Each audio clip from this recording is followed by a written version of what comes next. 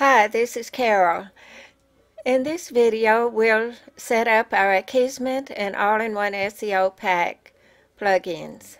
First of all, Akismet is the plugin that keeps our uh, blog free from spam comments, and it's very, very good.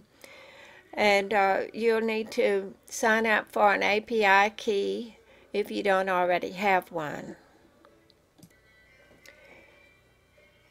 To sign up for a, Akismet API key, you click on this uh, link right here. And it'll take you this page where you get a, a key.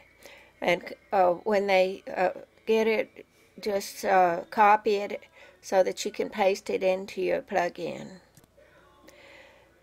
Next you go to your settings and uh, click on all-in-one SEO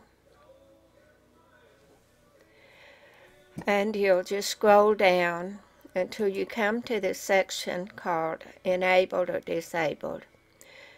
The plugin status, make sure that it's enabled.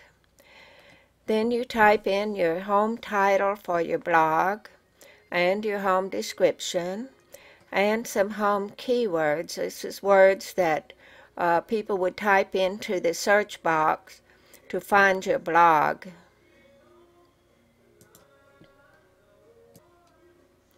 Next, we're going to make sure that these two blocks here are checked.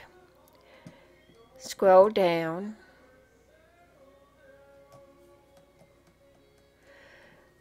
And let's uncheck these right here. And check the next three.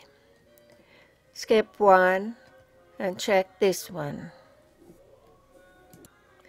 Continue scrolling down the page until you get to Update Options.